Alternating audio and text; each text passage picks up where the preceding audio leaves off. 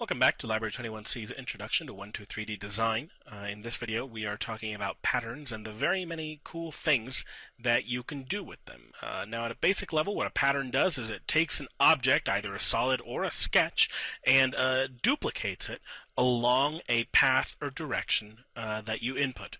Um, so up here we have the patterns menu and we have a rectangular patterns, circular patterns, path patterns, and mirror. And we're going to go through all of these uh, using these little example shapes that I've plunked down here. Um, I'm going to start with just the first one here and I'm going to create a rectangular pattern out of a cube which is kind of our first basic thing that we can do here. We start by selecting rectangular pattern and it wants a solid to be selected. Now, you want to be a little careful here because it does give you the ability to highlight faces, um, and that's just not going to work out. A lot of times you have to have the actual solid um, all selected. You'll see how the green glow is all around that cube rather than just around one of the faces. Uh, other times I tend to get kind of invalid operations when I don't select that whole solid. So I'm moving my mouse toward a corner, uh, which gets the solid selected. And then I am letting it know that I'm going to select two directions for this rectangular pattern to extend. Um, and I'm going to select uh, this one right here and this one right here.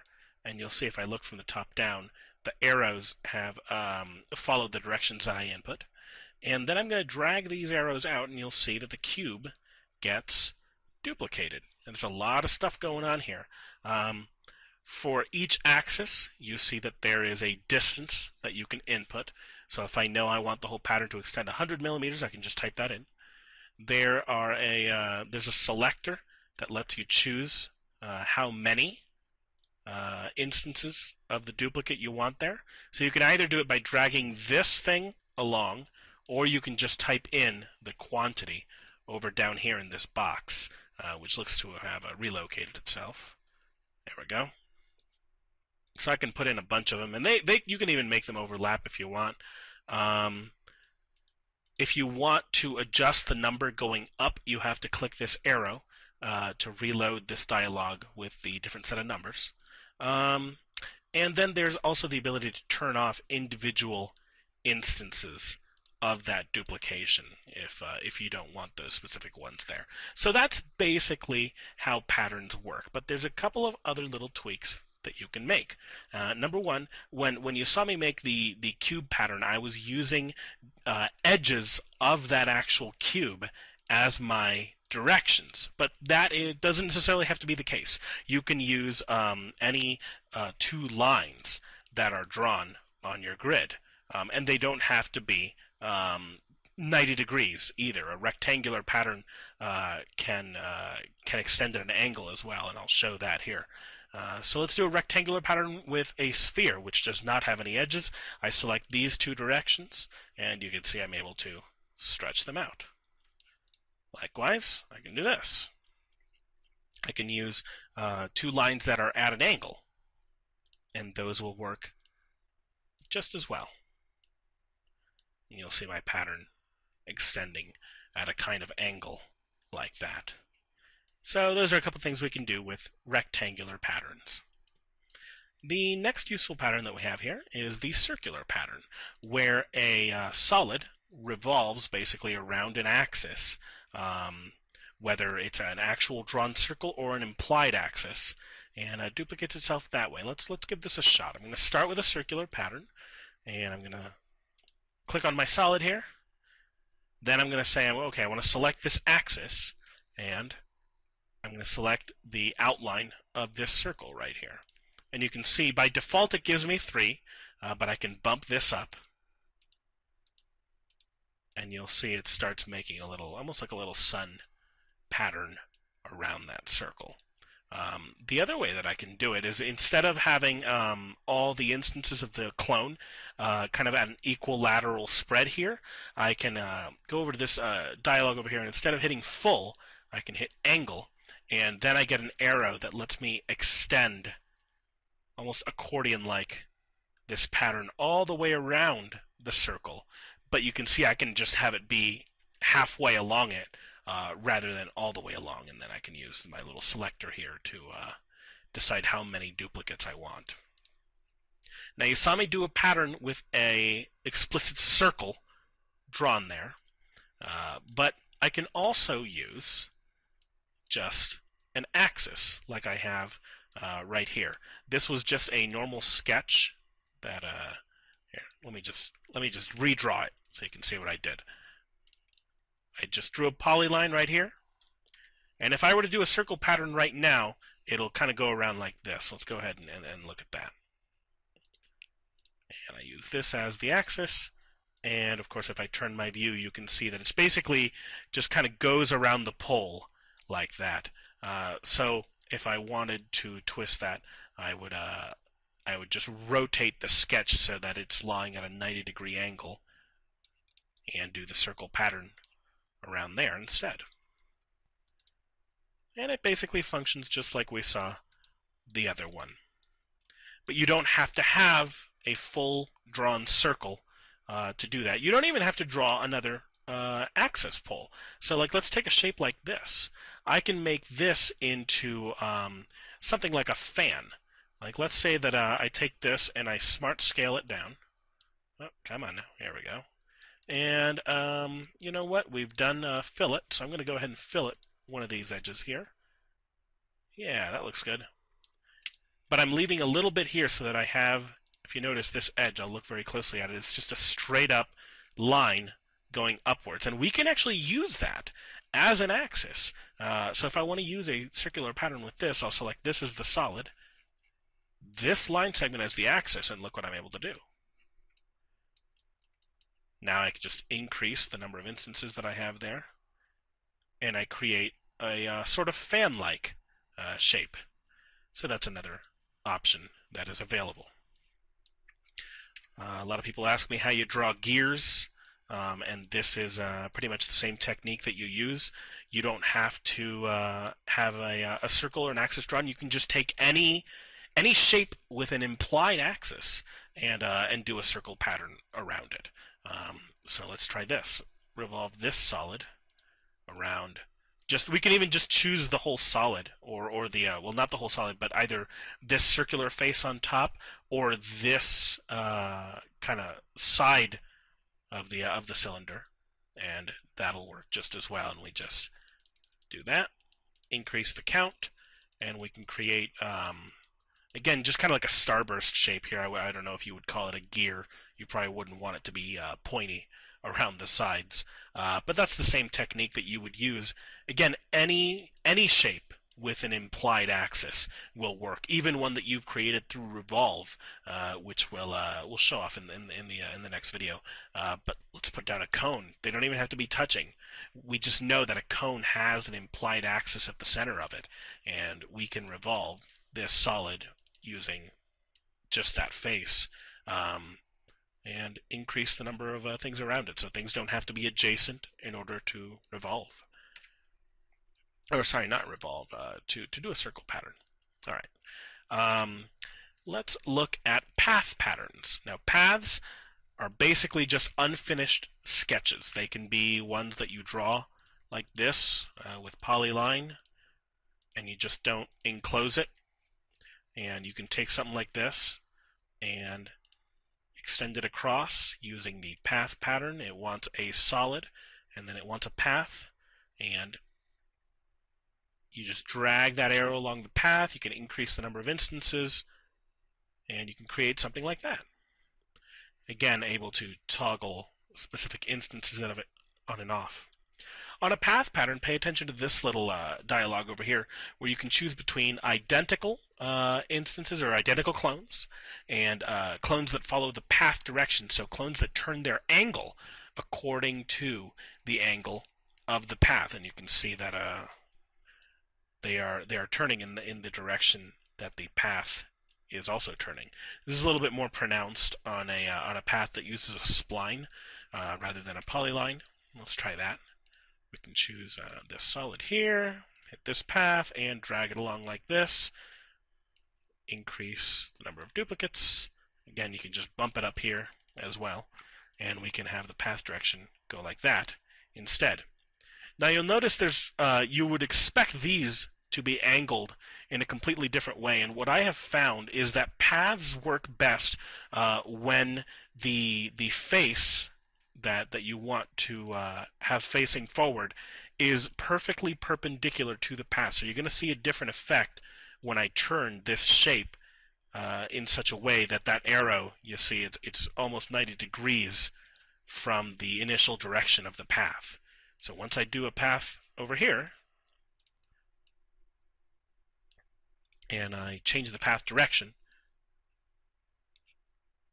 it's following the angle of the path a lot more smoothly and a lot more kind of faithfully to to the direction of the uh, of the spline. Uh, so try to have the shapes, um, you know, angled perpendicular to the path, uh, so that their angles are kind of represented in in the best way possible. Uh, and then you could, you know, use some other tool to join those, or just leave them as they are.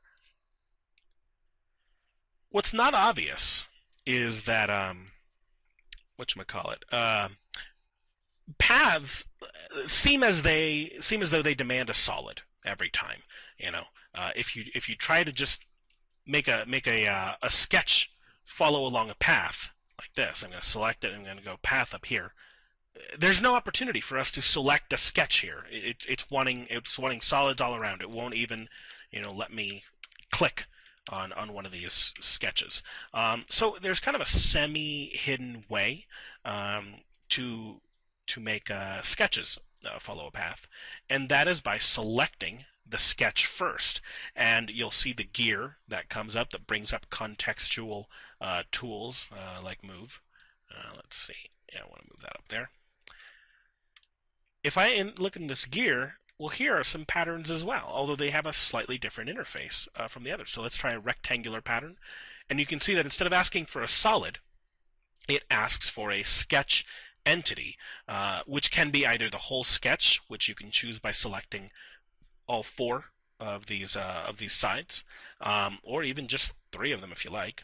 And then you pick the directions, which again are just you know any of these, and you'll see that I am able to, since I only selected three sides of it, I am able to pattern that just like I can with solids. The only difference is that instead of selecting the sketch and going up to the patterns menu, I had to select the sketch and go into its contextual uh, little gear uh, menu. So uh, you can circle pattern uh, some some sketches as well. Um, let's try this. We'll, we'll select the sketch we want to work on. We hit circle pattern, and now we select these three sketch entities and then we choose this as the uh, axis. It wants a center point, but we can just choose, say it says it lets us choose a select sketch point or circular arc, we can do that, and bump up the number of them there. So that looks a little bit uh, more gear-like. Uh, there we go. So we can extrude that if we'd like. Uh, we can do uh, something more like a flower using this. Let's try, oh, I, I forgot my own advice there. I got to click the sketch first. And then do a circular pattern. The one thing about circular patterns is that um, the the thing that you would like to duplicate around the axis must already be part of the uh, of the sketch that you're that you're using to define a center point. Uh, so let's try this. See, I'm able to do that. What I can't do is um, you know have something like uh, like we'll just put down a random sketch over here. I can't have this oval revolve, sorry, circle pattern around the implied axis of this circle over here because they're not part of the same sketch. Let's uh, let's try that and, and see if I'm wrong here, but I'm fairly certain. Yeah, it's not it's not it's not letting me click this thing. Uh, so that's that's not going to fly. It's got to be the, the sketch entity you want to duplicate has to be part of the same sketch that you're revolving it around. You can choose uh, this dot here, this little white dot, and revolve a sketch kind of around itself and create an effect like this. Um, but you can't revolve it around a different sketch. That looks kind of neat there. All right. Uh, same thing with uh, this. You can revolve a, a sketch around any uh, point I, I, keep going up here, and I know it's going to be a hard habit to break uh, because that's just where I'm used to looking for patterns. But remember, you have to select the sketch, go to the gear, circle pattern, select the sketch entities, and then any center point you'd like. I'm going to try this little corner, see if it lets me. Oh, no, I got to select the sketch entity again. There we go. That right there. Now let me zoom out, and you can see they're all revolving around this one dot that I picked. So I can make an effect kind of like that as well. All right. Uh, one last thing is the um, the mirror pattern, um, which uh, there's a lot of different ways you can play with that one. Let's try uh, putting down a cone here and uh, a box right here. You can use the side of a solid or just a line as your uh, reflection plane. So over here we have the mirror, which is the last pattern in our patterns menu, and the mirror wants a solid and then a mirror plane, which you can uh, choose like a face like this. Oh, see that one won't let me do it, and let me see if I can figure out why. It could be that I did not select the whole cone. Yep, that was the problem. That's a tricky one. Let's let's look at this again. I'm going to go to mirror, and I kind of just haphazardly clicked right over here. But what I'm not doing when I click right here is I'm not selecting the whole cone. I am simply selecting uh, one of the two faces. I'm selecting the face that kind of revolves around like this, but I am neglecting to bring along the bottom face of the cone. So for that, again, I have to go near a corner and make sure, see the difference there?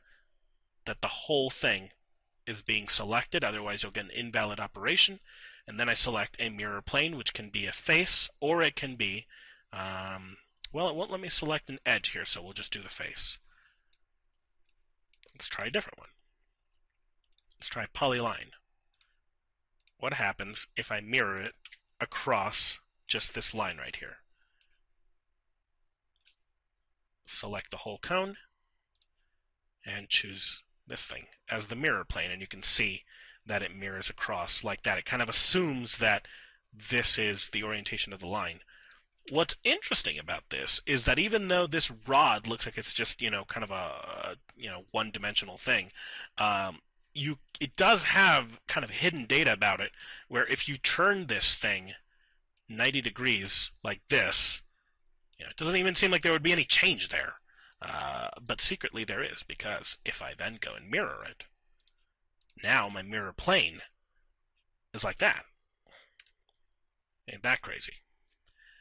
You can also um, mirror an object across a uh, face that belongs to itself. Uh, so if I just wanted to, um, you know, create uh, another another cone kind of on the bottom of that, I can uh, hit mirror, hit the whole cone as my solid, select my mirror plane, and make this my mirror plane, and double something across itself like that. As I mentioned before, these patterns won't work on a sketch, but you can select a sketch. And here is the mirror version, uh, the sketch version of the mirror pattern found in the under the gear menu. And we're going to try try that. And we're going to re uh, reflect this sketch entity right here using this axis as the mirror line. And there we go, a, a perfect, um, perfectly reflected heart, uh, unlike my, my previous bad sketch of it that I did in the uh, in the sketching video, and then I can just come back and uh, and trim this thing if I want. So there we go. I think that about covers um, all of the different things that you can do with patterns. Uh, later on I will have a video on how to use patterns as well as some other tools uh, to make uh, like a threaded screw. Uh, so that's one more application that, that you can look out for. Uh, but other than that, you pretty much know everything you need to know about patterns. Go ahead and uh, get creative with these and, and see what kind of things you can pull off. So we'll see you in the in the next videos where we will talk about um, sweep and Revolve and possibly Loft, but Loft might be a video of its own. We'll have to see. Uh, we'll see you again soon.